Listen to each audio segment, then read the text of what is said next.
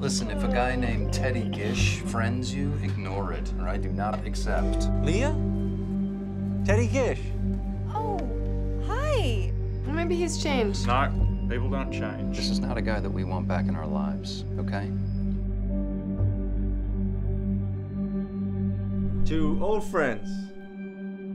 I said, what if? I planted the seed. Everybody in the world said what if, but we figured it out. After you pushed me out. You were never in.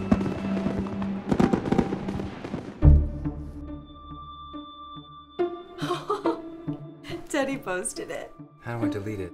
Uh, you can't. I want to know about the hole. I don't know what you're talking about. I think you do. It's impossible to find, trust me. Unless he knew where to look. Just stop talking to him.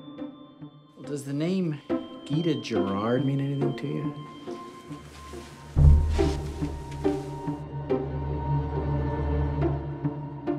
What is going on? Whatever it is, you can tell me. He's obviously already in a lot of trouble. I think you should tell them everything you know. Oh my god.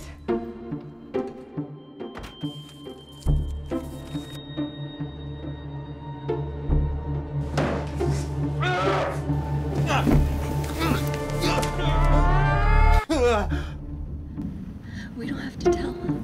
I won't tell. I won't tell anyone. Yeah. Oh.